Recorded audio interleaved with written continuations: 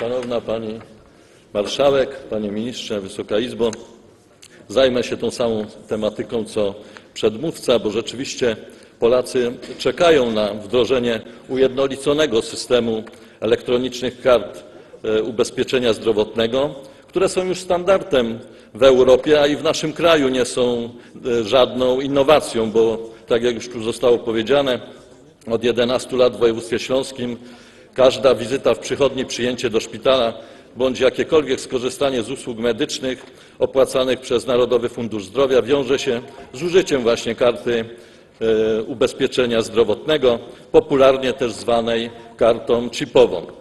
E, z użyciem karty drukowane są również recepty.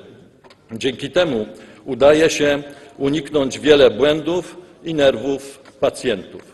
Szanowny Panie Ministrze, ten system został wdrożony w 2001 roku, a więc warto skorzystać z tych doświadczeń. Dlaczego wobec tego ministerstwo y, y, wobec rosnącego chaosu w służbie zdrowia tak długo decyduje się na wprowadzenie tego skutecznego i sprawdzonego rozwiązania?